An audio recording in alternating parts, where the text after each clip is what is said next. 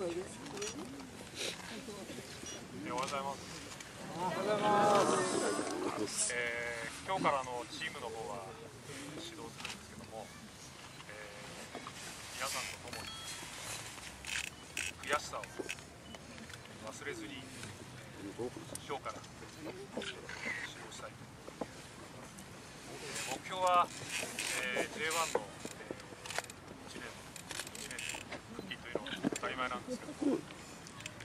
皆さんの期待に応えられるように、えー J1 に強くなってですね、えー戻りたいというふうに、えー思います、えーそして、えー昨シーズンあの感動の方を、えー与えなくちゃいけない我々が、まあ、今日もそうなんですけど、えーまた感動をいただき、えー今シーズンはぜひ、えーその勝利と、まあ、それと皆さんに感動が与えられるように、チーム一丸となって、えーシーズンの方そして天皇杯を戦っていきたいと思います、えーそういう意味では、えーそれを達成するのも、えーこの皆さんそしてファンサポーターの方々の力が、えー必要だというふうに思います、えーそういう意味では、えースタジアムでぜひ、え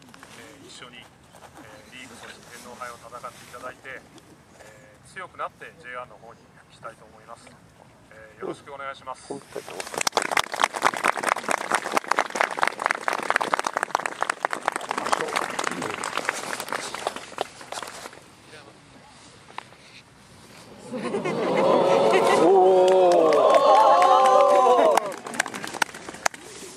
おはようございます。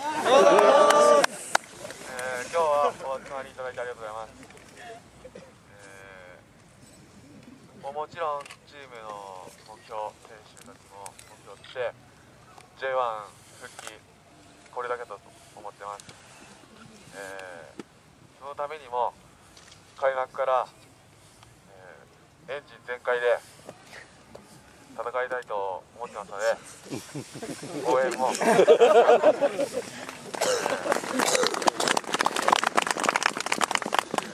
もう最後、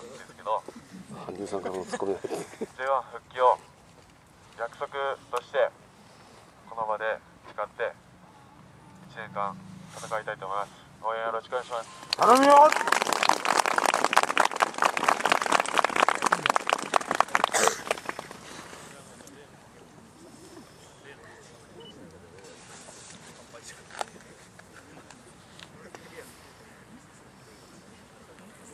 紹介変えてないのか